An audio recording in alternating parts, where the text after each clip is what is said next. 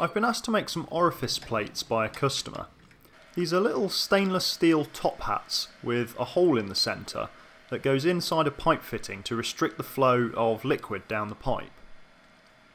They're made from 316 stainless and I started by turning down the outside diameter of a bit of 1 inch bar to 25mm in the lathe. I had to set the lathe with about 40mm or 1.5 inches sticking out of the chuck so that I didn't get too much chatter during some of the machining operations. I started by drilling the hole at the centre which the liquid will flow through. I could then zero the parting off tool on the front face of the part and then come in and use the parting blade to create the step down feature which forms the top hat. Now, I'm not using any coolant here just so you can see what I'm doing. I could then just clean the burrs off with a file.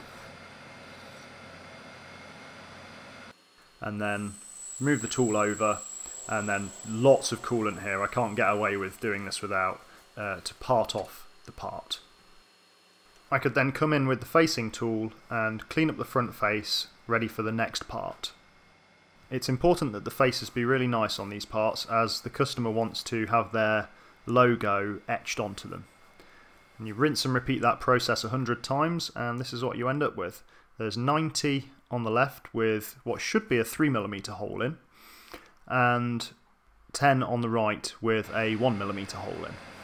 And here's me just drilling that little 1mm hole. It's a really tiddly little drill bit. You can see once they're parted off you end up with this little nubbin left on the end.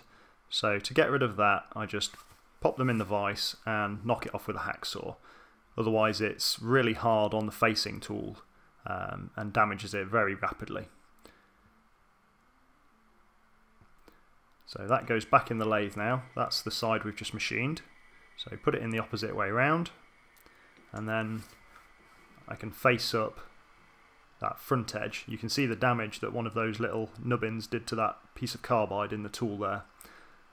So I've set the DRO so that when Z is on zero the part will be faced to the correct length. And I've just hooked up the coolant system to a, a little bit of plastic pipe so that I don't have to hold it. So a quick face up on that and then I can open the holes out to the correct size because I didn't read the order correctly. That's a 3mm hole and that's the finished part other than a quick deburr with a little drill bit. Nice and smooth. Do both sides and it goes in the pile. Not there. Just there. That's better.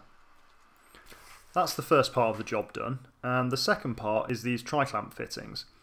I need to make a little counter bore that goes down inside so the orifice plate can fit flush with the clamping face. And I've got a piece of high speed steel that I'm going to grind up to make a boring bar because I haven't got one small enough in carbide.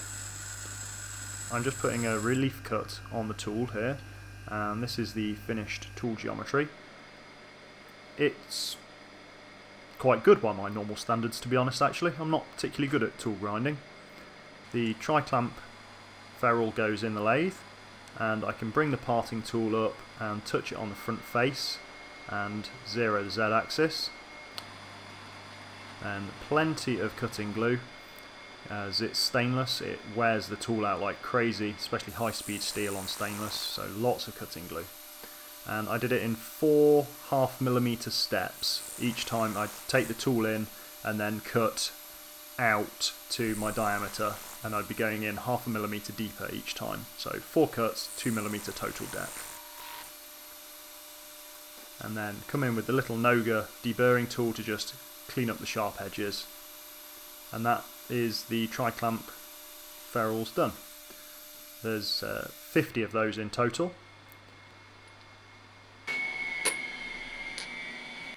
Then all of the parts got a good clean in some degreaser to get all the machining oil and coolant and all the nasties off.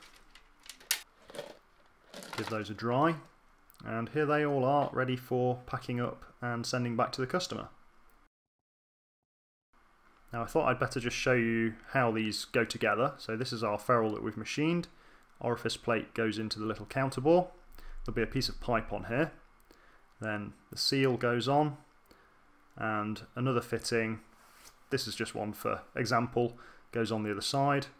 Then the hole in the centre will restrict the flow of fluid through the pipe and it will go off to wherever it needs to go.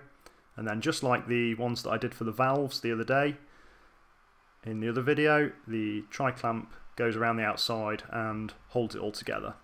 Hope you've enjoyed the video and thanks for watching and I'll see you next time.